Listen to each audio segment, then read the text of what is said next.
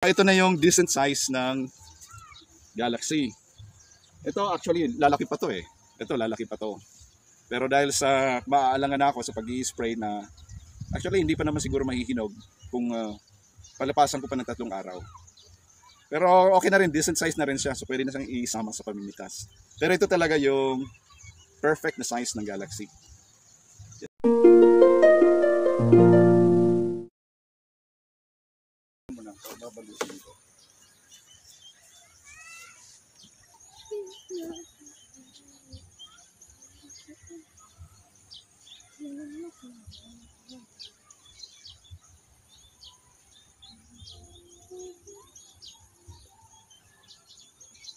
Ito pa. Masyadong mahaba yan guys. Lalagay natin yan doon sa malalaking pala.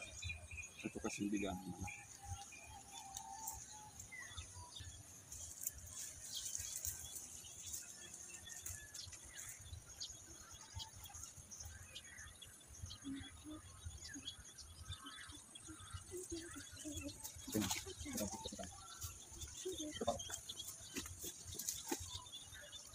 Ano natin ito?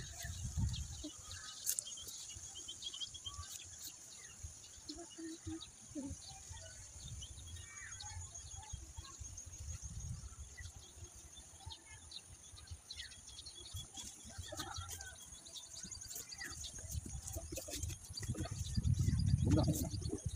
Hindi ka lang. Dito ka, dito ka sa akin. Pwede. Dito ka. Dito ka, sir. Pwede, dito, dito. Dito ka. Oh, pa. Hello mga kaibigan. Hello Kajay. Hello. Alright. Ito yung unang pitas natin officially ng ating panibagong tanim na ampalaya. Ito ay Galaxy F1 ng East West. Ah, Galaxy. Yung binalutan natin kanina, yan ay uh, Mistisa F1. Matagal na yan. Yan ay itinanim ng daga. Ah, hindi ako may tanim. May tanim yan daga. Kasi nung una kong tanim, tinangay ng daga yung buto na nahinog and then uh, naiwan sa kanyang lungga, nabuhay, at saka namunga. Kaya yun na, na, na, na binalutan natin kanina, yun ay tanim ng daga. Yun ay Mistisa F1. Ito naman ay Galaxy F1 ng East to West. Ngayon, it's time to have our first pick.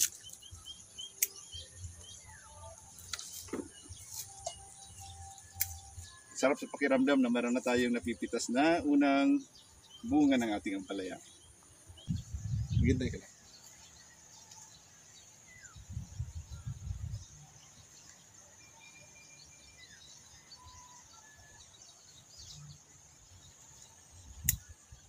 Tayo lang. Ito, balik mo ito muli.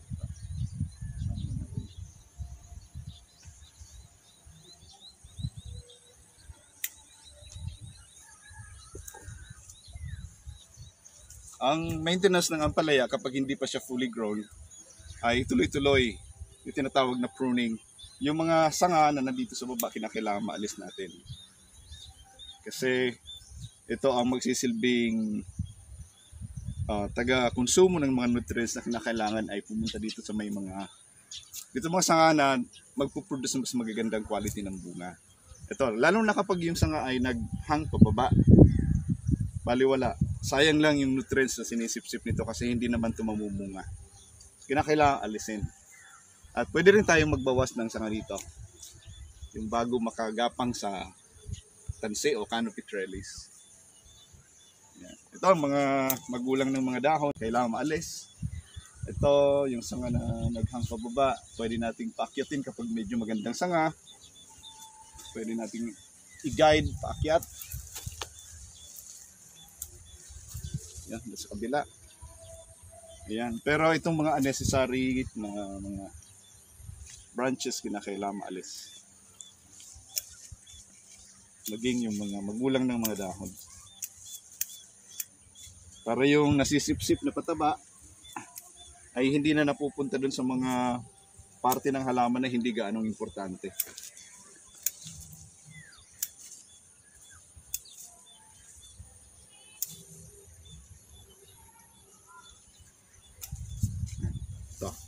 Hindi na kailangan yan.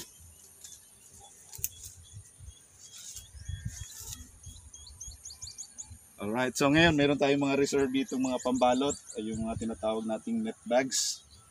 Para kapag mayroong nabuo na mga malilit na bunga, kinakailangan mabalutan natin kaagad kasi nakikipag-agawan tayo sa fruit fly. Eh, hindi pwedeng spray lang tayo ng spray. Kapag makakita tayo ng fruit fly, spray ka agad, hindi. Kasi nakaschedule yung pag-spray natin dito, minimum every 3 days. So ibig sabihin, kapag namumunga na, yun ang minimum. Kapag nakapitas ka na ng mga maayos ng uh, sizes ng bunga, pagkatapos noon, right away, spray. And then maghihintay ka ng another 3 uh, more days, pitas, spray ulit. Ganon yung regular na maintenance. Pero kapag nakakita ka ng peste, na alangan dun sa bilang ng araw para mamitas, hindi yun maganda na spray ka agad ng spray. So, as much as possible, pinoprotection na natin yung bunga para hindi gaano mapinsalan ng mga peste na umaaligid sa ating taniman. Ito, medyo pangit na kasi patapos na yung pamumunga nito. Ito yung misti sa F1. So, tingnan nyo yung quality, hindi na nagiging maganda. Oh. Kasi patapos na to. At uh, yung mga dahon ay nagiging barako na rin. So isa to sa mga palatandaan na yung halaman ay nagde-deteriorate na at patapos na yung kanyang uh, production.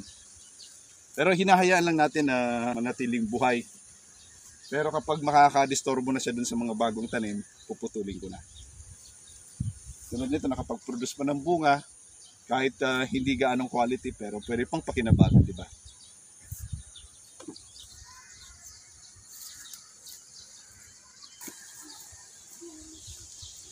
Eh, ito yung kahalagahan nitong net bags na to. Di ba tatanggalin natin dito sa pwede na nating mapitas. Ito naman na maliit pa oh. Pwede na nating ibalot. Ito lang oh, yung kaputol ng uh, walis ting-ting. Uh, ginunting ko lang ng pahalang. Ito, para magkaroon ng tulis. And then, iikot lang siya. Tulad nito, ikot lang para makatusok. And then, dalawang tusok. So, isusuot natin. Yan, isusuot. So, nakasuot na, di ba? And then, tutupiin natin dito against dito sa tahi para magkaroon ng ng halo sa loob para hindi dumikit yung bunga sa dito sa mosquito net. So ngayon, tutusok natin ng ganon, isa, babalik natin pa papasok, dalawa, and then nakaikot dito sa calyx o sa tangkay ng ampalaya para hindi mahulog. Yan, medyo masikip ng konti. And then ibalik natin ulit para makalak. Yan, so hindi na yan matatanggal. Yan. Kung halimbawa magpapasadya kayo nitong gumawa at lalagay kayo ng sling, uh, mas maganda siguro kasi hihigpitan mo na lang yung sling nakasara na. Pero ito, yung ginawa ko, nakatahi lang. So, kinakailangan na mayroon ditong uh, coconut midrib o kaya yung malisting-ting na naka, yun na naputol ng pahalang para magsilbing tulis. Yan. And then, yun na yun. Parang, uh, kuha na siya, lock pin. Tulad nito, oh, lumalaki na yung bunga. Yan. So, wala siyang kagat ng insekto kasi eh, hindi siya exposed sa environment. Merong, merong net na nakapa, nakabalot. Yun. Pero may mga instances din na natutusok pa rin tulad nito. Ito, ano, ito, ito medyo, medyo malaki na. Kapag nakadikit siya dito sa mosquito net, may mga fruit fly na matatalino. Eh, ako nakapagtapos ako ng graduate studies. Pero yung mga fruit flies, mukha yatang graduate ng doctorate. Kaya mas matalino minsan yung uh, fruit fly sa farmer. so ngayon, halimbawa nakadikit dito yung ampalaya sa sa net bags. Uh, ang tendency ay didikit din dito yung um, fruit fly at saka magbabaon siya ng itlog sa loob. So kahit nakabalot, may possibility pa rin na matusukan o ma-damage ng fruit fly at ng iba pang insekto. Pero the main thing is that sabihin nating 70% protected na siya. So ibig sabihin meron tayong mas magandang chances na makapag-harvest kaysa sa walang net bag. Ganun lang naman yon. Okay, let's go. Ah, pitasin natin to. Mistisa F1 to. Then,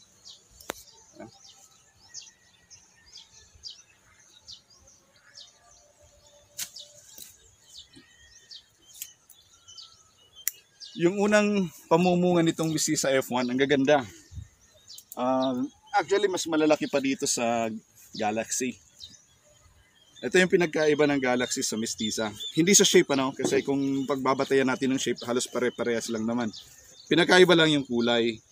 Ang Mistisa F1 ay medyo lighter ang complexion kaysa dito sa Galaxy F1. Ang Galaxy F1 is uh, dark green, samantala ang Mistisa F1 ay lighter, ano, light green ang pigment. Okay, so yan ang pinagkaiba ng dalawa. Pero para sa akin, Um, anyway, hindi pa naman natatapos yung pamumunga. Nagsisimula pa lang mamunga yung Galaxy. Kaya hindi ko pa ma-judge kung ano yung advantage at disadvantage. Pero so far sa aking karanasan sa pagtanim ng uh, Mistisa F1, napakaganda ng pamumunga. Ma-resilient siya sa pamamarako at saka marami kong mamunga.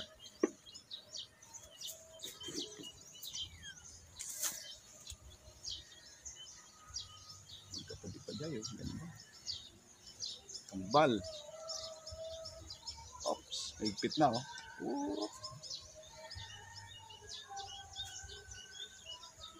Tingnan nyo to oh, ang ganda oh. Malinis na malinis. Yan. Yan, oh, magkatabi pa. Ang ganda. Yan. Wait, wait. So, ito yung Galaxy, ano? Galaxy F1. Ang ganda ng bunga. Slowly, Jaya. Yung pa, may isa pang malaki, oh.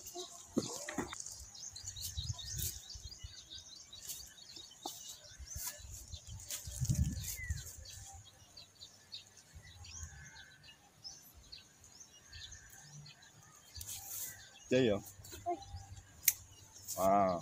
Ganda, oh. Lelay slowly, ah. Pwede natin sa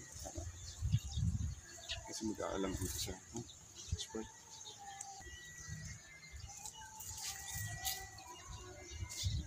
Eh, kung mapapansin nyo no, napakalinis mula dun sa pinakapuno. Dito, simula dito sa pinakapuno, wala akong pina, pinahabang baging o sanga. Na, malinis yan, pruning yan lahat. Yan, hanggang sa makaakyat sa trellis dito sa taas. Yan. Pagdating dito sa taas, yun, hinayaan ko na na dumami yung mga sanga. Yan. So, malinis. Nata natatanaw mo yung paligid. Yun ang din ang advantage kapag ganito yung klaseng pruning. Pero hindi naman to isahan lang, ano. Gradual lang. Habang lumalaki, umaakyat yung sanga, maglilinis ka naman sa baba. So ngayon na nandito na yung mga sanga, dito sa parting baba na to ay malinis na. Ngayon, may mga naiwan ng bunga. Kaya, ah, tingnan nyo, may insekto. Yan. Nakakapag-harvest tayo. Yan. Ito ay, kung pa lang, 35 days after lipat tanim. Ay, saktong sambuan eh. Sambuan is uh, 30 days plus 5, 35 days. Ay, nakakapitas na tayo.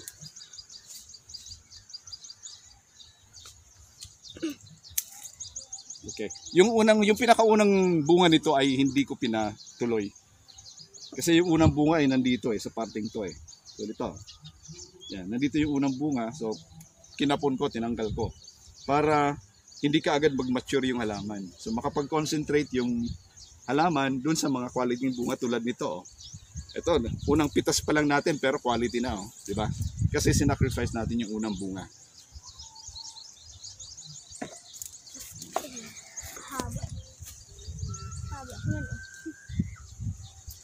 Yan. So far, ito yung pinakamalaki sa ngayon. One, two. Yan. At saka ito na yung decent size ng Galaxy. Ito actually, lalaki pa to eh. Ito, lalaki pa to. Pero dahil sa maaalangan ako sa pag spray na actually hindi pa naman siguro mahihinog kung ah, palapasan ko pa ng tatlong araw. Pero okay na rin, decent size na rin siya. So pwede na siyang isama sa pamimitas. Pero ito talaga yung perfect na size ng Galaxy. Yan. Hindi pa masyadong malalaki yung agwat. At saka tamang-tama lang na ano yun, pakinabang gulay. Eh, ito medyo mura pa pero isasama na natin.